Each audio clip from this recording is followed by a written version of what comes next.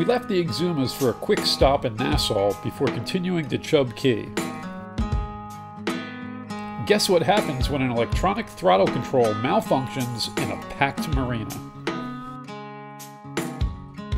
One look in your eyes and I find it. When you leave in my mind,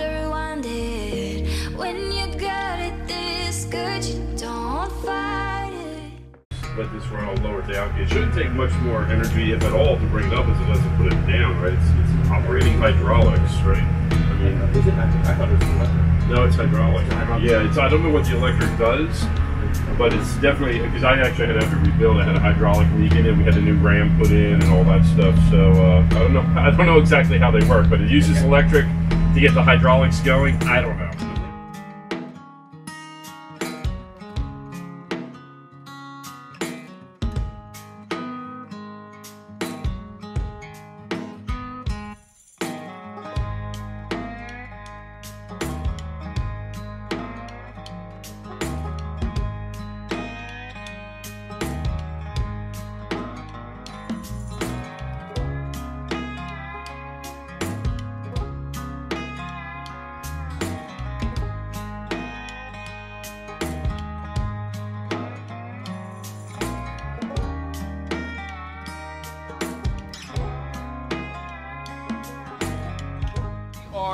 are leaving Exumas right now, and we're on our way to Nassau. Uh, we're about maybe an hour, two hours out of Nassau, uh, about to head into the Yellow Bank, which is an area of the crossing where there's a lot of coral reef heads that you have to watch out for. Uh, but it's pretty much a you know straight path from where we left. Now we had a fantastic time in the Exumas with our crew members uh, Eric and Dana. We got to explore a couple of islands that we had not been to before, and well, the weather was fantastic, which was great because you saw how it was the start of this trip.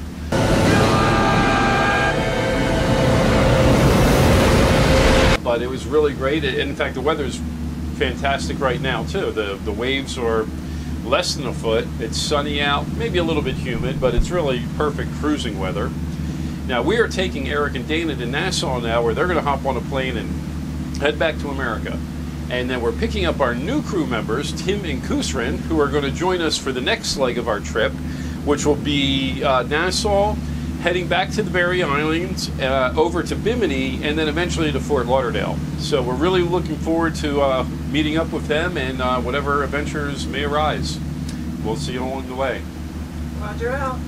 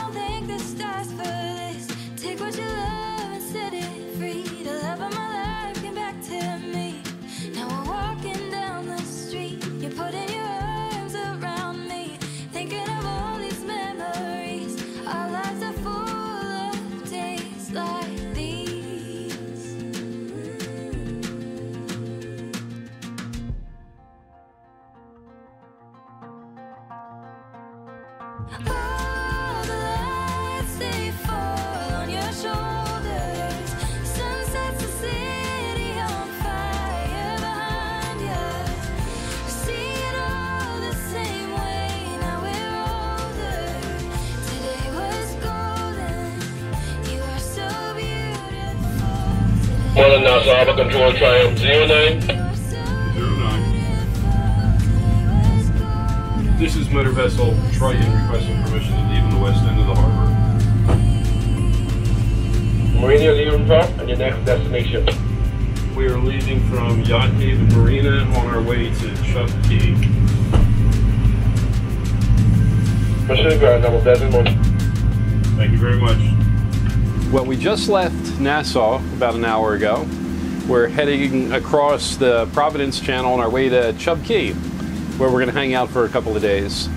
Uh, we said um, goodbye to our, our crew members, uh, Eric and Dana. It was sad to see them go. We had a great time with them over the last 10 days, exploring all the islands and, well, just, just enjoying each other's company. Thanks for joining us. We'll see you soon, Eric and Dana. Um, hopefully, on the water, we'll be boat buddies next year. Right now, we have been joined by our good friends Tim and Kusrin, uh, who are going to join us for the f- final Bahama leg here, where we're going to go to the Berry Islands, hang out at Chub Cay. We're hoping we can go explore that wreck over by Bimini, and then hang out at Bimini, probably Brown's Marina, somewhere thereabouts, for a couple of days before heading to Fort Lauderdale. The weather is perfect. We got maybe one footers, following seas, which you can see why we're rocking a little bit here. But other than that, it looks like a great day to cross. And we'll catch it in Chub. Roger out. One other thing I forgot to say um, when we went to leave this morning, we discovered a pinhole in the, um, I guess, the water inlet pipe. Uh, and I want a big shout out to Jerry Wagner, who made me a spare last year, which I had uh, hidden under the bench over here. And I, I, I was going to replace it proactively, never did, but I always kept it on the boat. So, anyway, exactly the same thing again, Jerry. We got a little pinhole in the same pipe, and um, thanks. You got us, uh, you got us back on the water just like that. Uh, we had a difficult time getting off the dock today. I think Lynn probably filmed it, but we were really pinned hard against the dock, uh, maybe a couple of knot current and the winds. Um, we, we got off no problem, but in the process, we dropped one of our, um, our fenders overboard. Uh, one of Lynn's favorites, too. She named it Fat Boy. and we, well, we thought it was gone forever. But uh, a nice guy at the marina who does these charters uh, off. Whisper two. Whisper 2, is that it? Okay, uh, this nice guy at the marina in uh, Whisper 2, a catamaran that was right by us, saw what happened, and he uh, got in his tender, grabbed our, our, our uh, fender that was floating away, and then brought it out to us in the, in the middle of the harbor there. Real cool, thanks. I really appreciate that. I hate to have to go out and buy another one, and you saved us a few hundred bucks, and it was really nice of you. So, next time we're in town, we're going to look for Whisper 2, and we owe you a beer. Appreciate it. We also got to meet a, uh, a fan of the channel, uh, Eric, who has a 53 yacht fish right there at Yacht Haven. And he was kind enough to not only come over introduce himself, he's a member of the Nassau Yacht Club. And well, he took us and our friends over there, our crew, and uh, treated us to lunch and drinks. And uh, what a great guy. We had a great time hanging out with you, Eric. And I appreciate all the insight that you gave us to the area. And yeah, we definitely look forward to catching up with you next year when we're back in Nassau. Thanks. Roger Shortly after arriving in Chub Cay Marina, there was an accident between a sportfish and several expensive center consoles. They were not able to get any local divers to inspect the damage because of the bull sharks in the marina. So we lent them our underwater camera and our hookah system. The, uh, the propeller looked pretty good, didn't get damaged. Uh, it was just a rope, that's what we saw. Lucky stars, man. Lucky stars. What it, Looks like somebody wrapped it around there themselves. It's not crazy. and, and the other one doesn't have anything, and no damage also. Totally clear and no damage. Just one this. Oh! Look at that. Ooh, god darn. Look at that. Oh my god. Uh, epoxy, but 5200 would do it. That's right on like this part, but on the other side. Okay. This will buff out. That's from the fender.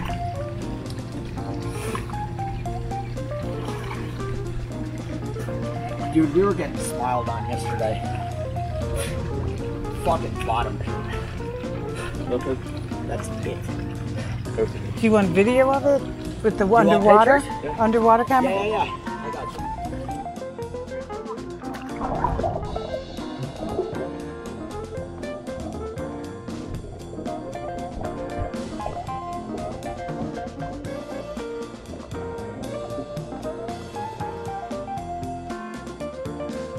Fortunately, no one was injured. I'll let the captain explain what happened. What happened? Well, electronic controls, never, ever, ever. Normally, they say you don't trust a yacht broker, you don't trust the weather, you don't trust your. Well, no, that's not true. You you, you don't trust the weather, man. but Or windy? never, never trust your electronic controls, and especially anybody U.S. who's watching. I've had problems with y'all before, but that's how it is. So you went to switch Went slave. to- no, I went to. Uh, I I got the boat tied up, and uh, I just went because we have an enclosed pilot house. So I went to the aft station outside just in case they need me to adjust the boat at all. Right, right. All of a sudden, the boat took off, popped itself in gear, and wouldn't stop. Wouldn't stop. And I tried to correct with the throttles outside. I tried to shut it down with the with the st- uh, stop buttons outside. Didn't stop. I'm going straight into the stock over here. Yeah. And uh, I uh, ran inside, activated the station, tried to use my my sticks there. Nothing. And then finally, um, just press the stop buttons up there was the only thing that worked. Kill. The kill. Killed him. The kill switch. Killed him. So- And there's nothing you could do to prevent that because that's something that. Absolutely nothing. It was it was an act of, it was an act of God. Was an Yeah. act of God. And here's the mechanic right here. Yeah, yeah. Senor Brainerd. Yeah. So I'm He, Angel's watching over you guys. yeah. I've had I've had electronic controls go out several times before, but this was by far Hmm. by far. But nobody got hurt, so Nobody that's got hurt. okay. That was why, like yesterday, I was like, I felt like I was in a fucking dreamland. Mm. Like, because I saw when we were coming in to this dock here, there was nothing to do, stop the boat. Yeah. There was two center consoles, like two million dollars. Yeah, I know. and like, I'm watching, there's a guy in his cockpit, and I'm, I'm like, no. Yeah. Move. Yeah, I didn't have yeah. time to I'm in an enclosed pilot house. I can't. Yeah. So I'm watching the guy. I'm like, he's dead. I'm fucking. I'm thinking to myself, rest of my life in prison in Bahamas. That's that's what I got in Fox in Fox Hill. When I when I, I found out that he jumped out of the boat.